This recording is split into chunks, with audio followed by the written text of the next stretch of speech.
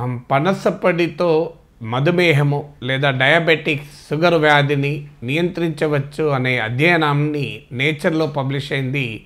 మీకు నేను గతంలో ఒక వీడియోలో చెప్పాను. దాదాపు లక్షకు పైగా చూశారు దీన్ని. సో ఈ ఈ పనసపడి కేవలం షుగర్ వ్యాధికి మాత్రమే ఉపయోగపడేది కాదు. అనేక ఇతర ఆరోగ్యకరమైన ప్రయోజనాలు కూడా ఉన్నాయి.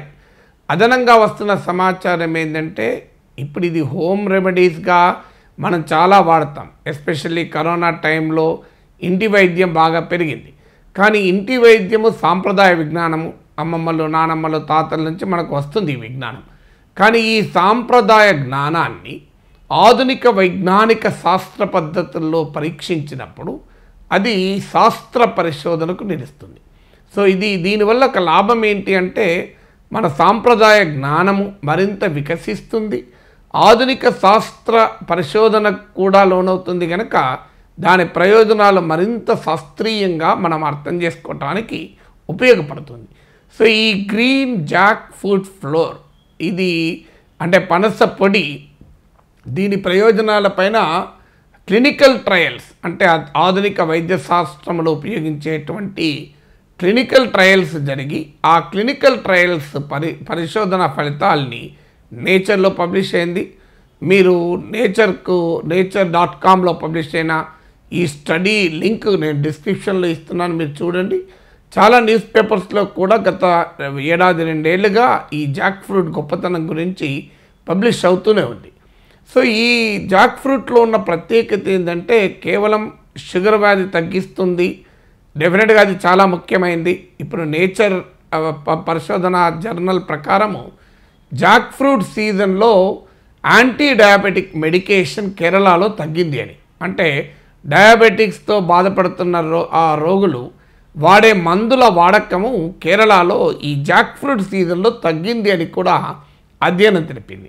అంతేకాకుండా టూ థౌజండ్ ట్వంటీలోనే అమెరికన్ డయాబెటిక్స్ అసోసియేషన్ వాళ్ళ జర్నల్ డయాబెటిక్స్లో కూడా ఇది పబ్లిష్ అయింది సో దీని ప్రయోజనము మనకు అడ్వాంటేజెస్ ఏంటి అంటే ఇందులో షుగర్ను తగ్గించేటువంటి లక్షణాలు చాలా స్పష్టంగా ఉన్నాయి. కారణం ఏంటంటే ఇందులో కార్బోహైడ్రేట్స్ చాలా తక్కువ ఉంటాయి.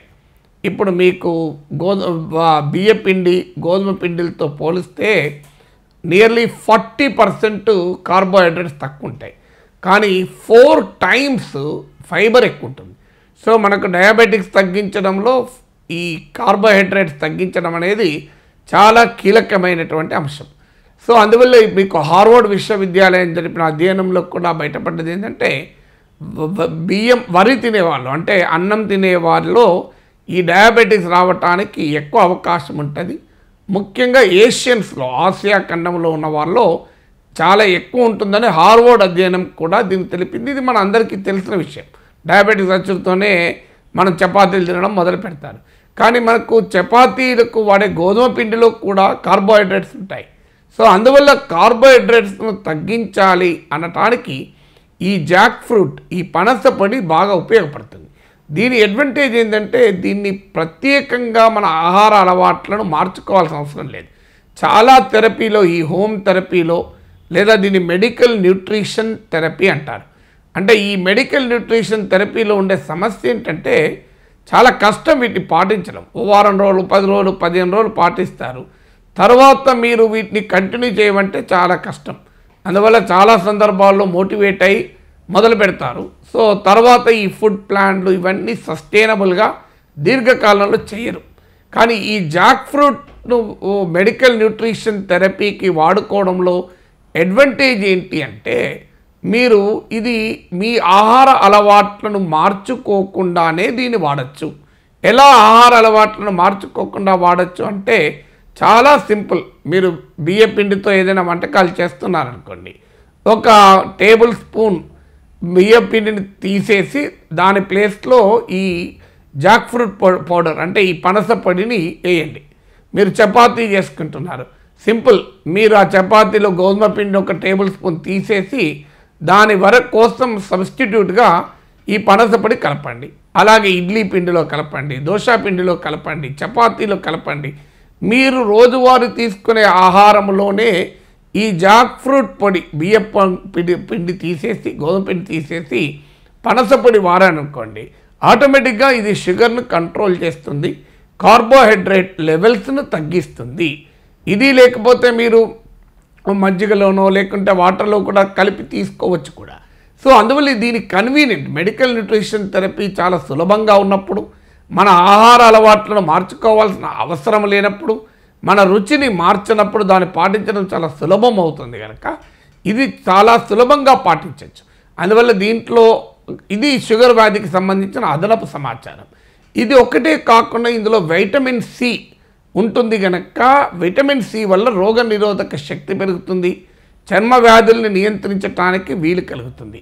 ఇందులో వైటమిన్ ఏ కూడా పుష్కలంగా ఉంటుంది యాంటీ ఆక్సిడెంట్స్లు పుష్కలంగా ఉంటాయి.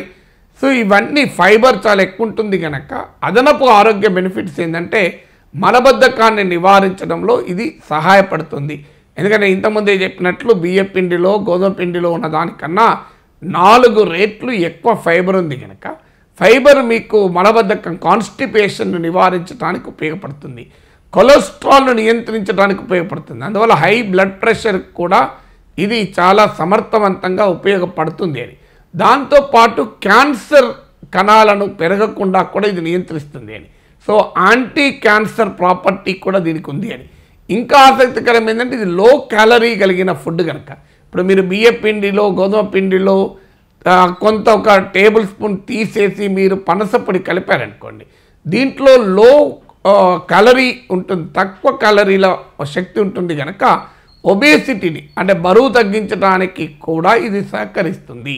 దాంతోపాటు ఒక మెడికల్ వెబ్సైట్లో నేను చదివింది ఏంటంటే ఈవెన్ మ్యాకులా డీజనరేషన్ అంటే ఏజ్ రిలేటెడ్గా ఉంటుంది. వయసు ప్రకారం కంటిలోని రెటీనాలో ఉన్న సెంట్రల్ పార్ట్ను మ్యాకులా అంటారు. సో ఆ రెటీనాలోని సెంట్రల్ పార్ట్లో ఉన్న మ్యాకులా బలహీనపడుతూ ఉంటుంది. సో దాన్ని కూడా ఇది నియంత్రిస్తుంది. ఎందుకంటే ఇందులో వైటమిన్ ఏ కూడా ఉంటుంది కనుక అని. వైటమిన్ బి కూడా ఉంటుంది. ఇందులో చాలా ఫ్రూట్స్లో లభించని విటమిన్ బి ఈ ఫ్రూట్లో దొరుకుతుంది అని అంటున్నారు. సో దాన్ని అందుకే దీన్ని వండర్ ఫ్రూట్గా ఇలా గుర్తిస్తూ వైద్యశాస్త్రపరంగా మెడికల్ న్యూట్రిషన్ థెరపీలో దీనికి ఒక కీలకమైనటువంటి పాత్రనిస్తున్నారు.